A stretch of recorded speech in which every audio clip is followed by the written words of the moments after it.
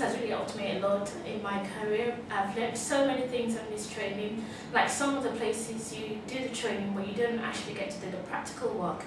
This is a spectacular training program because you get to do the training as well as the work, real life work experience.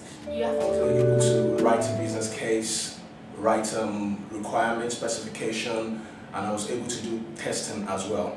About the person that um, that got me on the training, which is Katie Giwa, is actually he's a wonderful person, a good speaker, and a very Um, I heard about this course from a friend, and what they only told me was I was going to have training, just like a project man training, strictly on Prince 2.